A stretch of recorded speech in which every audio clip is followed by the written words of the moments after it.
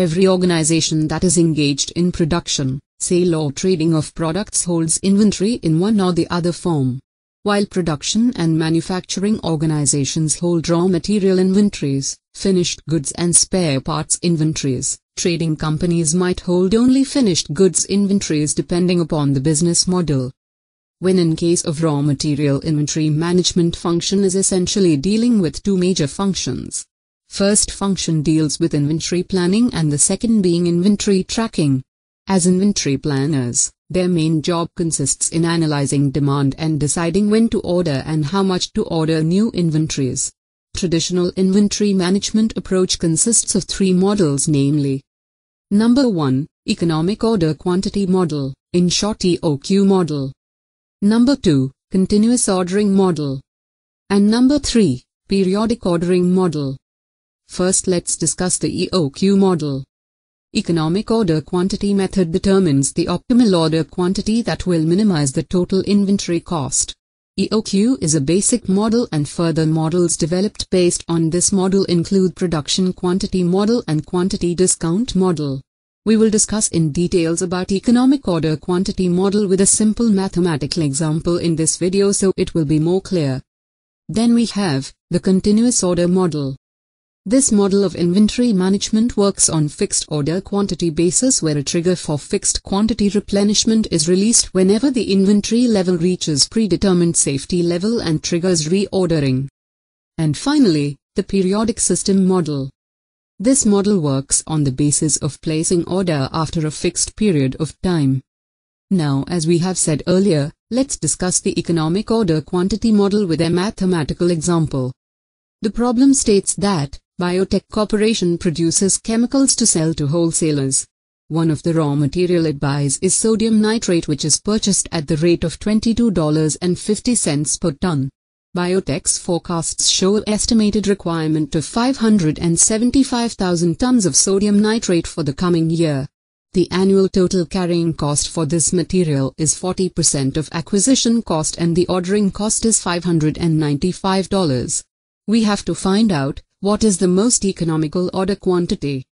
We already know that economic order quantity, EOQ, is the ideal order quantity a company should purchase to minimize inventory costs such as holding costs, shortage costs, and order costs.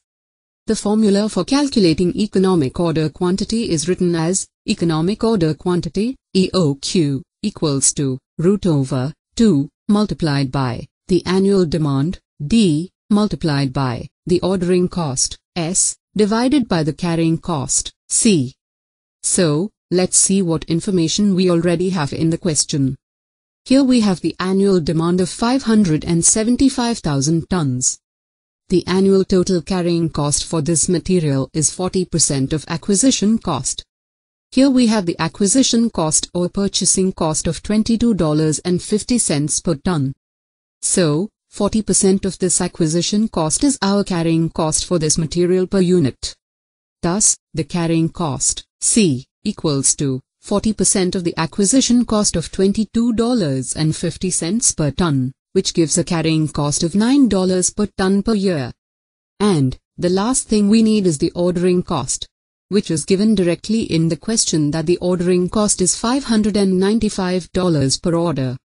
Putting all these values in our equation we get economic order quantity, EOQ, equals to root over 2 multiplied by the annual demand of 575,000 tons, multiplied by the ordering cost of $595 per order, divided by the carrying cost of $9 per ton per year, which gives us the economic order quantity of approximately 27,573.135 tons per order.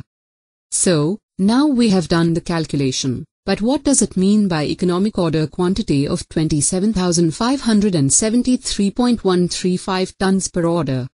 It means that, if an order of 27,573.135 tons of sodium nitrate are made per order, it will minimize inventory costs such as holding costs, shortage costs, and order costs, and thus be the most economic decision for Biotech Corporation for inventory management of this material. Now, This model of economic order quantity presupposes certain assumptions. It assumes that there is no safety stocks available in inventory. It assumes that there is no shortages allowed in order delivery. The demand is at uniform rate and does not fluctuate. The lead time for order delivery is constant. It assumes that one order is equal to one delivery where no shortages are allowed. This model does not take into account other costs of inventory such as stockout cost, acquisition cost etc. to calculate EOQ. In this economic order quantity model, the demand increases for production the inventory gets depleted. When the inventory drops to a critical point the reorder process gets triggered. New order is always placed for fixed quantities. On receipt of the delivery against the order the inventory level goes up. Using this model, Further data extrapolation is possible to determine other factors like how many orders are to be placed in a year and what is the time lapse between orders etc. This model is also used to determine the order size and the production lot for an item to be produced at one stage of production and stored as work in progress inventory to be supplied to the next state of production or to the customer.